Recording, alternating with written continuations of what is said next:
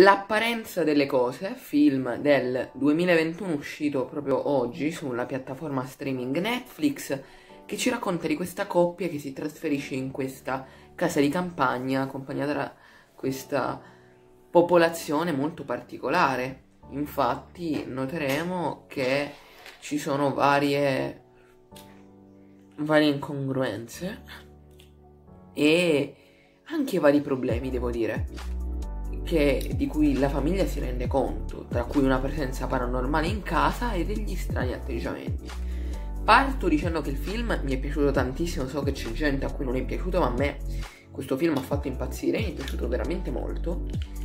Eh, allora, c'è una eh, molto brava e bellissima Amanda Seyfried che in questo film ha un ruolo molto particolare. Allora, partiamo parlando di nati- lati negativi che secondo me non sono moltissimi.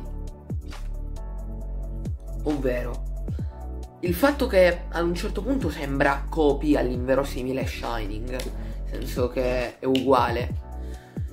E poi diciamo alcune tecniche della trama che non è che mi abbiano fatto veramente impazzire.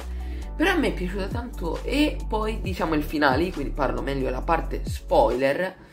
E poi diciamo che ci sono anche lati molto positivi, come il marito, il personaggio del marito e anche gli altri personaggi, perché per una volta in un horror medio distribuito su Netflix non ti approfondiscono solo i primi due personaggi, i protagonisti, ma anche i personaggi nelle circostanze io adoro questo tipo e infatti il film è tratto da un libro e sembra veramente un libro. Io ho, ho avuto il piacere di sentire vari capitoli avvicinarsi uno dopo l'altro. A me questa cosa ha fatto impazzire, mi è piaciuta tanto.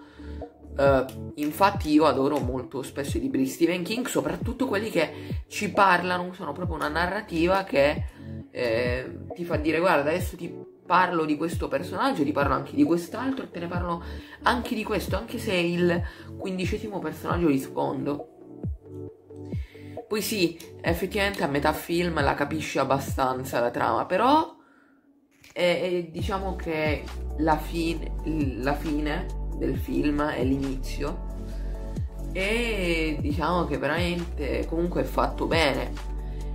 Altro difetto gli effetti speciali. Gli effetti speciali di questo film sono terribili. Non si vedono tanto, ma quando si vedono, quando si vedono ragazzi, quello è un problema gravissimo che me l'ha fatto calare tanto. L'interpretazione del marito è stata molto ben fatta e anche varie location il film. Non è che si concentri la classica casetta ragazzi. Per farvi capire le aspettative che io avevo riguardo a questo film ero raso terra. Nel senso mi aspettavo il classico film questa famiglia che si trasferisce vede strane presenze casomai chiama un tipo e accade il peggio mi ha stupito tanto perché sono accadute varie cose. I cittadini diventano tutti importanti uno dopo l'altro, capitano vari avvenimenti e man mano cominciano ad importarti anche della vita quotidiana di questi protagonisti, protagonisti con i quali riesci ad empatizzare, quindi non è che non ti freghi nulla di loro, diciamo. E quindi concludo questa parte uno spoiler molto breve perché ho più cose spoiler da dire, dando a questo film un 7 per ora è il top del 2021, ovviamente ne usciranno i migliori probabilmente. Nel senso che abbiamo ancora 8 mesi davanti, no, 7 eh, mesi diciamo. Abbiamo 7 mesi davanti ragazzi. Ab- alziamo un pochino le aspettative e vediamo come ci sorprenderà. Intanto un punto per Netflix. E adesso ragazzi, eh, se non avete visto il film vi consiglio di andarvene, ma prima di tutto iscrivetevi, attivate la campanella e noi ci vediamo al prossimo video. Tra l'altro ragazzi, prima eravamo a 500 iscritti e di colpo adesso siamo a 497. Rimediamo. E allora,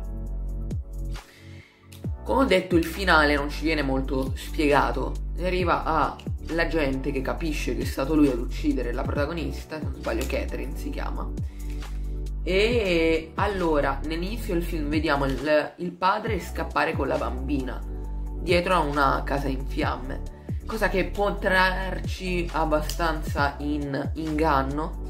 Ed infatti è proprio questo il trucco, il misfatto del film, il voler trarti in inganno. Ok, capisco. Allora, il finale non mi è piaciuto, diciamo gli ultimi 20 secondi, perché sono mega pippo. La classica cosa è. Adesso ci avete riunito. Vabbè, senza farti capire veramente quasi nulla.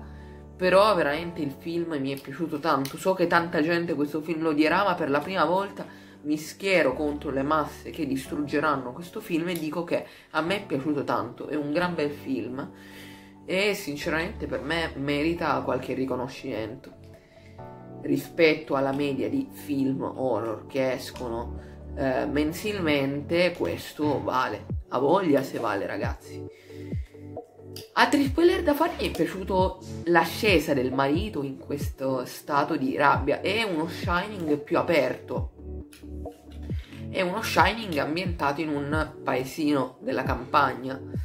Come possiamo vedere eh, abbiamo. Poi c'è questa peculiarità che non so che avete notato molti. Amanda Seyfried è una attrice che odia quando c'è troppa gente attorno a lei. Infatti, lei vive proprio in una casa di campagna.